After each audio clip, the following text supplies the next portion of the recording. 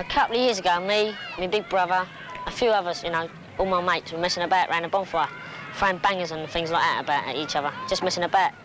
And there was this kid called Charlie, and he had all these bangers sticking out his pocket, loose in his pocket.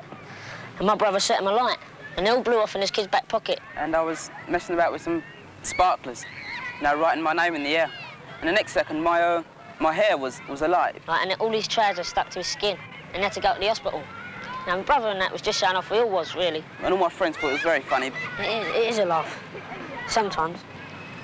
If you see your mate coming down and you, he don't know you're there, and just like a bang and he don't know it's coming towards him, it goes off at his feet, it's a laugh, and he just, like that, he'd laugh, wouldn't he, really? What's funny about that? I don't know. Do you think your brother would have done it if he'd have been on his own with Charlie? Not my brother, not, not really. Why not? Why wouldn't you have done it?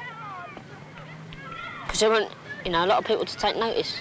Wouldn't have been worth doing it, would it? Because Well, what's so someone. big about lighting bangers in someone's pocket? He's showing off. Doesn't realise the dangers. It proves that I'm better than the next person because I can hold a banger in my hand and let it go off.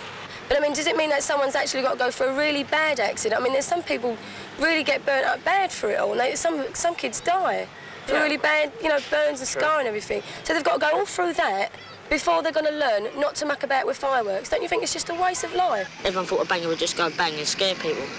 No one realised what he could do. He must have known that, John. If he's got bangers and he's got a match and he lights bangers in somebody's back pocket, he must have known something was going to happen. But I would never do nothing like that now. Not after that. It's the same with most kids. It's not until you have been badly burnt or had a very bad experience with fireworks that you realise how dangerous they are. They really can hurt. Bangers and rockets.